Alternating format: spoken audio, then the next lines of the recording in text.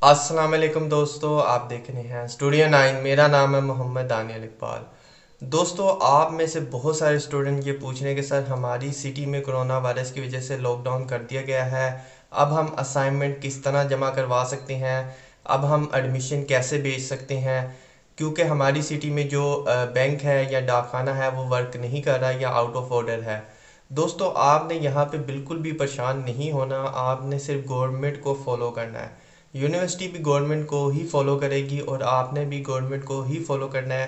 فی الحال آپ کی جو پریورٹی ہے وہ یہ ہونی چاہیے کہ کس طرح ہم گورنمنٹ کا ساتھ دے سکتے ہیں اس وائرس کو کنٹرول کرنے میں۔ دوستو یہاں پہ آپ نے بالکل بھی فکر نہیں کرنی۔ آپ کی جو اسائنمنٹ جمع کروانے کی ڈیٹ ہے اس میں آنکھ بند کر کے توسیع کر دی جائے گی۔ یونیورسٹی کو چاہیے فوری طور پہ توسیع کر دے تاکہ اسٹوڈنٹ کو حوصلہ ہو جائے۔ لیکن یہاں پہ یونیورسٹی میں جو لوگ ہیں، ان کو شاید سمجھ نہیں آتی کہ یہ سچویشن کس طرح ہینڈل کرنی ہے۔ اور دوسرے نمبر پہ جو ایڈمیشن ہے ایڈمیشن کی آپ بالکل فکر نہ کریں۔ آپ بعد میں بھیج لیجیے گا۔ بالکل اس میں توسیع کی جائے گی۔ کیونکہ گورنمنٹ آف پاکستان نے کہہ دیا کہ فی الحال داخلے بند کر دیں۔ ایک ماہ بعد دوبارہ کھولیے گا اور تب سے جو ہے وہ داخلوں کی پرمیشن دیجیے گا یا داخلے لیجیے گا۔ تو آپ نے اس سچویشن میں بالکل بھی پینک نہیں ہونا، کیونکہ بہت ساری جگہوں پہ لاک ڈاؤن ہو گیا۔ ہو سکتا ہے کہ آنے والے وقت میں کرفیو بھی لگ جائے۔ تو پھر تو آپ کچھ بھی نہیں کر سکتے، آپ گھروں سے باہر ہی نہیں نکل سکتے۔ نہ کوئی شاپ اوپن ہوگی، نہ کوئی کمپیوٹر شاپ اوپن ہوگی جہاں سے آپ پرنٹ کروا لیں۔ نہ ہی آپ کا ڈاکخانہ اوپن ہوگا جہاں سے جا کے آپ بیچ لیں۔ اکیلے شہر میں پھیلنے سے بہتر یہ ہے کہ فی الحال آپ انتظار کریں۔ اور ویٹ کریں جب یہ بوا جو ہے کنٹرول میں آ جائے، اس کے بعد جو بھی اعلانات ہوں گے، اس کو فالو کیجیے گا۔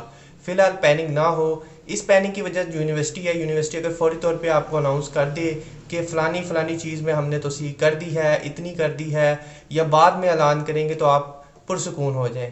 اگر نہیں بھی کر رہی یونیورسٹی اعلان تو آپ نے بالکل بھی ٹینشن نہیں لینی، کیونکہ صورت حال ایسی ہے، اس کے ختم ہونے کے بعد بالکل نئے اعلانات آئیں گے۔ آپ تھوڑا سا ویٹ کر لیں، انشاءاللہ جلدی آپ کو نئے اعلانات جو ہے وہ سننے کو ملیں گے۔ تو امید کرتا ہوں میں نے آپ کو کلیئرلی سمجھا دیا ہو کہ اسائنمنٹ جمع کروانے کی ڈیٹ سے بالکل پریشان نہ ہو اپنے ایڈمیشن کی ڈیٹ سے بالکل پریشان نہ ہو اور ایگزام اور ورکشاپ تو آپ کے جون تک نہیں لی جا سکتی۔ اگر ورکشاپ آن لائن ہوئی تو وہ ایک الگ سسٹم ہوگا، وہ یونیورسٹی دیکھے گی کہ کس طرح ڈیولپ کرنا ہے، لیکن فی الحال اگر فزیکلی ہے تو بالکل جون تک نہیں ہوگی۔ تو اپنا بہت سارا خیال رکھیں۔ اس امید کے ساتھ مجھے اجازت دیجیے گا۔ اللہ حافظ۔